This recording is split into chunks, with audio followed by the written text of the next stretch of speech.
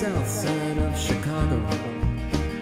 And when she first brought me back in 94, down in the basement of her childhood home, I found an old guitar.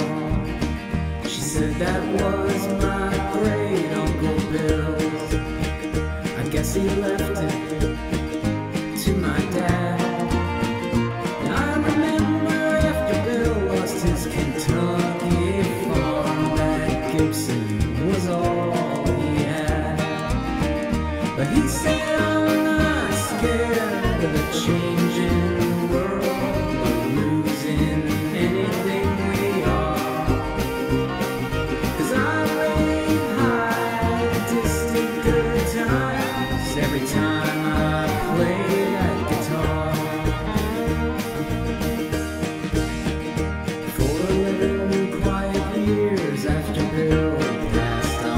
That I guess it waited for